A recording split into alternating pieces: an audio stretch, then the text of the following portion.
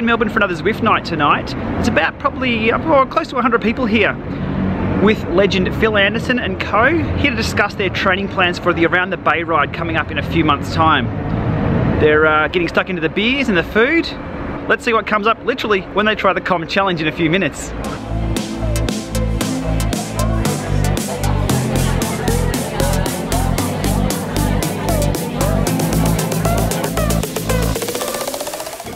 Only when there was a really strong crosswind, and um, I think it's one of the only sports where athletes actually pee on each other. but uh, but yeah, so that was that was what I was expected to do was was uh, you know domestic, uh, the true true meaning of the word. And,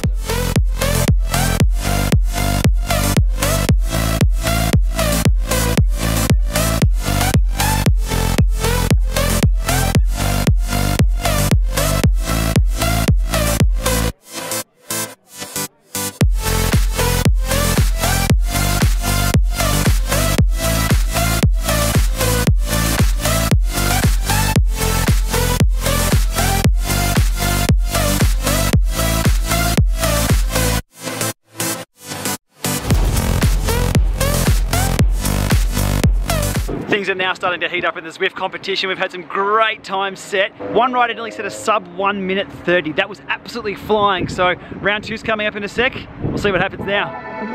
I dream I know deep up my feelings for you.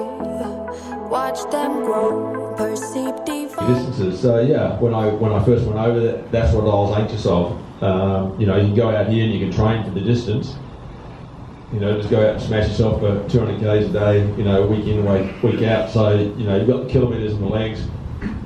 You know, you might be the fastest, but uh, but then to get used to the bigger fields, the huge fields, which you know, like a, a 50 deep for you know for 100 metres is um, is, is is something which is um, you know pretty hard to pre- prepare for when you're coming from uh, a place like Australia. This is the seed, the show. Watch them grow. I dream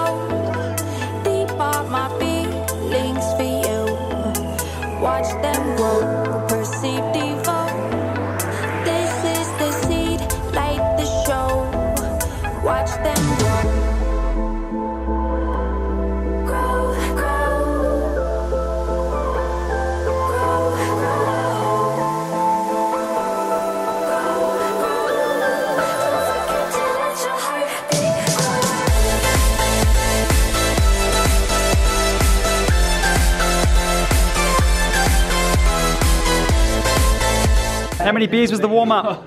Only two. Two beers? Adam's never uh, beaten Norm at the local criteriums. How local are we talking? We talking about Geelong? Geelong, yeah, the Geelong criterium circuit. Supermasters. The Super Masters. Well into their 40s. Both of these guys are not used to actually participating in the event, they're normally used to commentating on it. Wasn't it Merckx who did the seat height every millimetre and Come Merckx used on, to get the um, Come he used to get the, the spirit level out. didn't? Come on. Oh, yeah, yeah. Okay, so we might just ask Norm his tip for this race.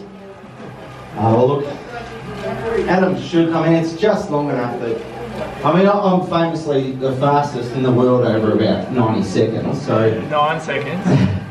so I think, I think unless he uh, does something drastic, he should get me. But look, it's just incumbent upon me to let him win sometimes. Because each time he tries to beat me with the crits, uh, it's, it's a sad story. Now tell me, you did start out as a BMXer, I'm told reliably. What do you think that, how, how do you think that's going to play out for you today? Well, that's why I'm the fastest over 90 seconds.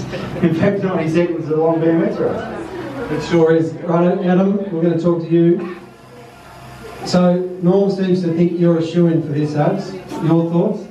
Yeah, got him cold. Have you been training for it, and who's your coach? Ross Snowball. Just gets, just gets me on the Kickr. Gets me to do 150 watt efforts. 150 watts. What, over 10 minutes? Five hours. With five minutes rest. Then another five hours. Ross, I do coach a guy from Tasmania where the weather is notoriously fickle and he's training for a 24 hour coming up. And he had to do a long ride in the weather, it was snowing outside. So he did a nine hour Zwift session.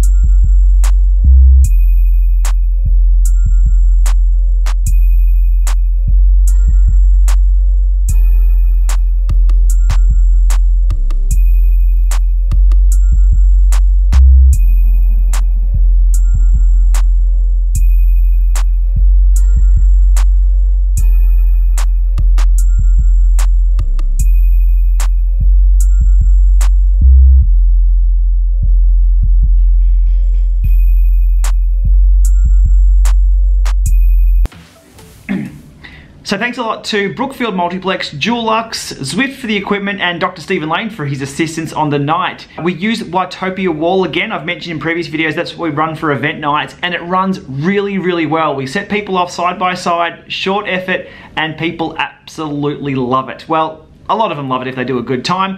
Some of them, uh, yeah, enter a pain zone they've never been in before, which is interesting to see. No time to hang around for this Melbourne weather. We're out of here. Off to Darwin, and we'll see you tomorrow. Thanks for watching. Fly like paper, get high like planes. If you catch me at the border, I got visas in my name. If you come